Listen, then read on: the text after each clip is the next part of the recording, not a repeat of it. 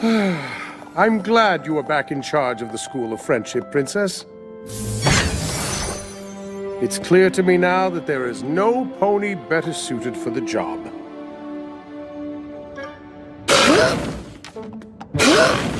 What's going on?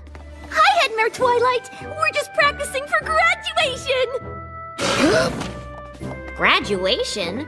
Now that we've saved Equestria, we figured we're done with school. Saving Equestria is nice, but I'm afraid it'll take more than one semester to learn all there is to know about friendship. Told ya.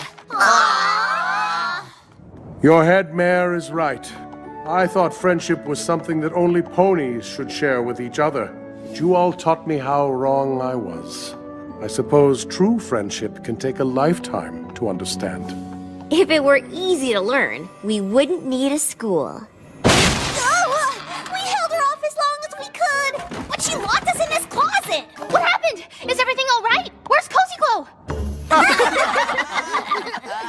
Everything worked out just fine.